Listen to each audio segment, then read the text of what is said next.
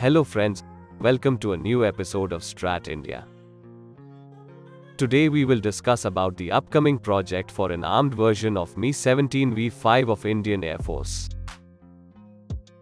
In a significant development Indian Air Force is planning to equip its large fleet of Russian origin Mi-17 V5 transport helicopter with Spike NOLS anti-tank guided missile to make it a versatile platform.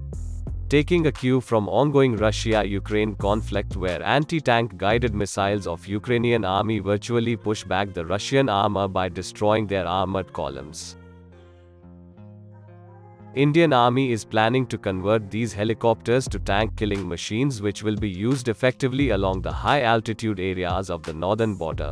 The Spike NOLS is long-range anti-tank weapon which is four times the range of Hellfire missiles used by Apache attack helicopters. The Spike NOLS uses an electro-optical seeker by which operator can see the target and also can abort the mission.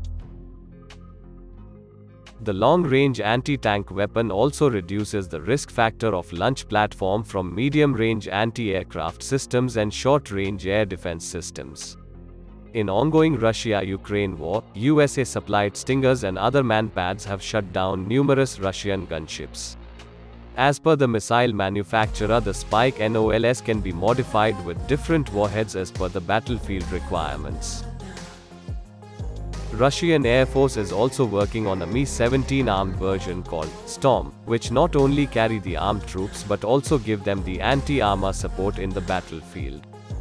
DRDO developed SANT anti-tank missile may also be the part of armed Mi-17 project though the range is only half of the Spike NOLS missile.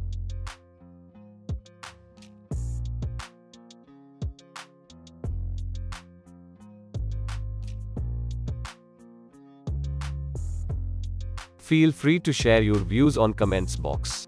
If you liked this video please share and subscribe our channel and press the bell icon for more of these videos.